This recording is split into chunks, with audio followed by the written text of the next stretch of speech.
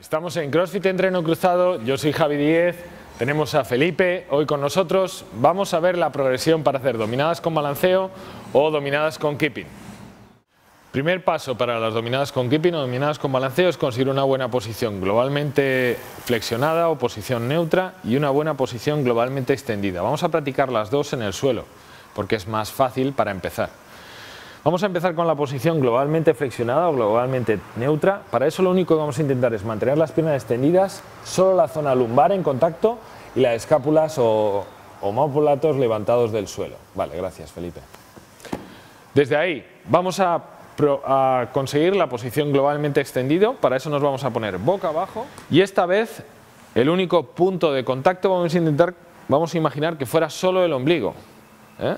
Nos extendemos completamente, levantamos muslos, pecho y brazos, cabeza completamente. La única zona de contacto sería la zona del ombligo. Perfecto, suficiente. Desde ahí vamos a colocar a Felipe boca arriba otra vez. Desde ahí lo que vamos a intentar es, colocando los brazos atrás, pasar de una posición a la otra tumbados. Vamos a pasar de estar globalmente flexionados, globalmente flexionados, Felipe, a globalmente extendidos. Apoyamos los talones y levantamos la cadera y los hombros. Veis que Felipe levanta las caderas, mantiene los talones y los hombros apoyados. Y otra vez globalmente flexionado. Y otra vez globalmente extendido. Perfecto, suficiente. Ahora estamos listos para pasar a la barra. Una vez tenemos la posición globalmente extendido y globalmente flexionado en el suelo, vamos a trasladarla a la barra. Ahora Felipe se va a colgar de la barra y nos muestra una posición globalmente flexionada. Puntas de los pies extendidas, flexión global del tronco y desde ahí va a hacer una transición a globalmente extendido. Pies por detrás de la cadera, pecho adelantado, cabeza adelantada.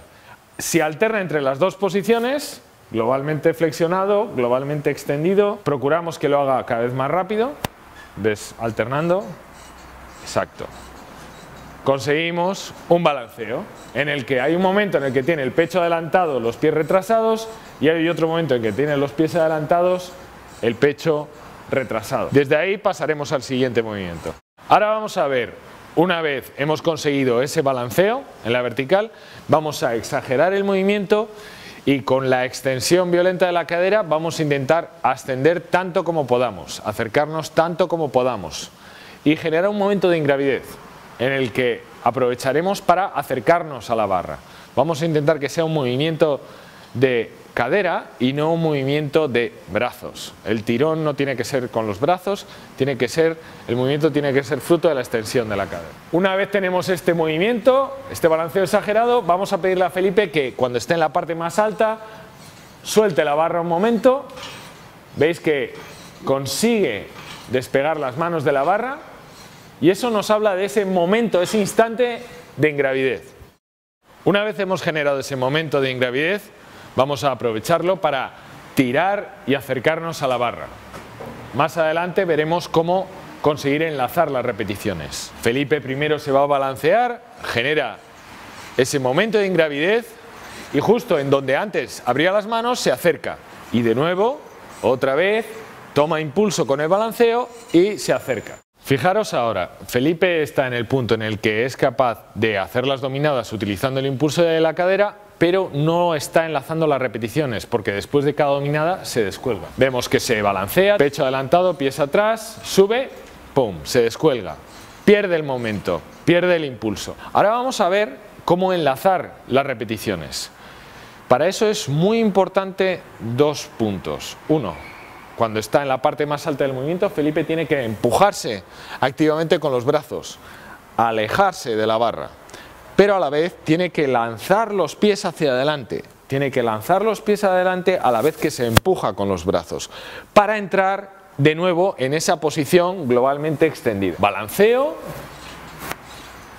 y fijaros cómo lanza los pies hacia adelante en cada repetición a la vez que se empuja con los brazos. Hasta aquí el vídeo sobre las dominadas con keeping o dominadas con balanceo.